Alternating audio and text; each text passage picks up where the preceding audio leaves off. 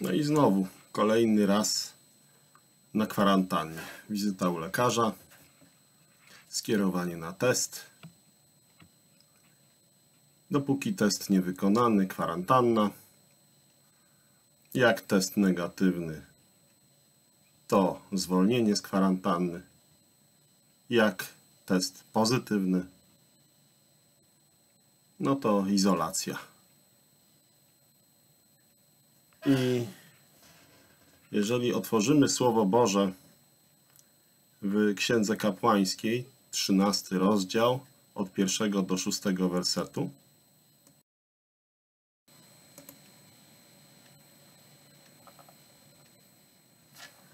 Czyli Stary Testament.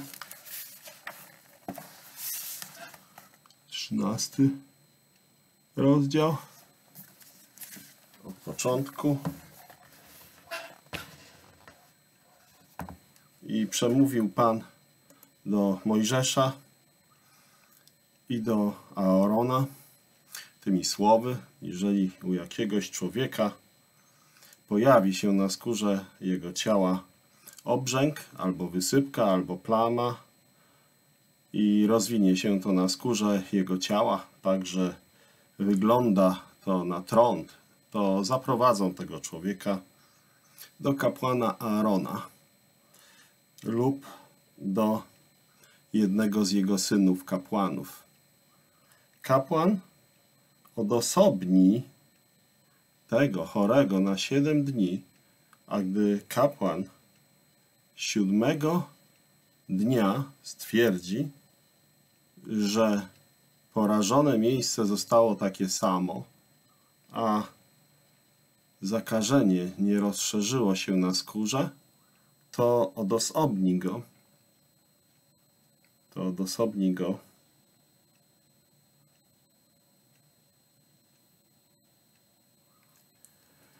Na dalsze siedem dni. A gdy kapłan zobaczy go po raz drugi, siódmego dnia i stwierdzi, że miejsce zarażone zostało, stało się, stało się bezbarwne i zakażenie nie rozszerzyło się na skórze, to kapłan uzna go za czystego. Jest to tylko wysypka, więc tamten wypierze swoje szaty i będzie czysty. Tyle Słowo Boże z Starego Testamentu.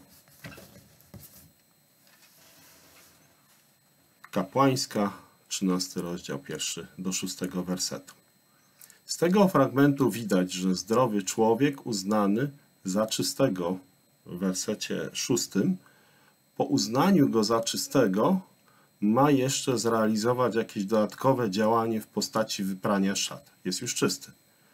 Ale co gorsza, wcześniej dwukrotnie, po 7 dni, bez faktycznego powodu, bo przecież był zdrowy, naprawdę był zdrowy, czyli dwukrotnie po 7 dni bez powodu, bez obiektywnego powodu, bo przecież nie był chory i był zdrowy, nie miał objawów choroby zakaźnej, tylko objawy podobne do jakiejś choroby zakaźnej.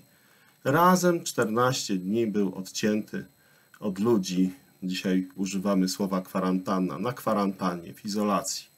W imię tego, że jakaś jednoosobowa rada medyczna powiązana z klerem żydowskim musiała go sobie dwa razy potestować.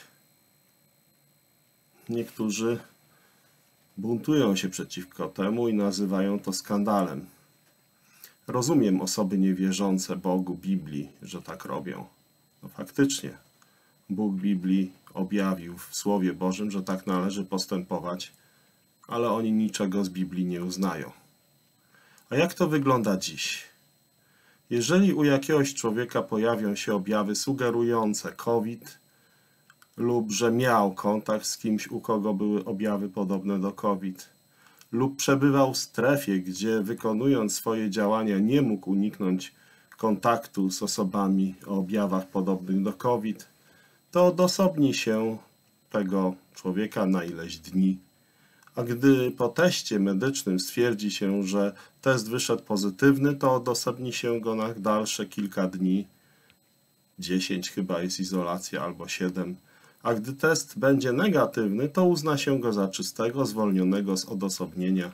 Był zdrowy, ale ograniczono jego prawa w imię tego właśnie działania wypływającego ze Słowa Bożego.